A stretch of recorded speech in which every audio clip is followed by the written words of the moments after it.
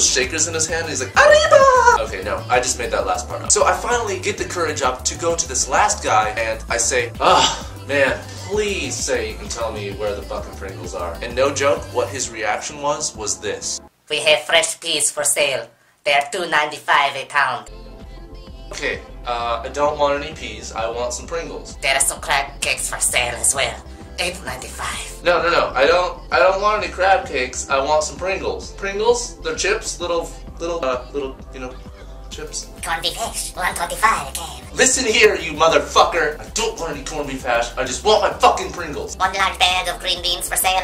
382. How many times do I have to fucking say this? I don't want your green beans, I don't want your corned beef hash, I don't want any of your shit, I just want my fucking Pringles. Did I mention I murdered my wife? What? I did not say anything. Thank you for your help, I guess. Also, did I mention how to lose a guy in 10 days is $4 off? I don't give a fuck about your how to lose a guy in 10 days. But anyways, that was my very short story about Walmart. For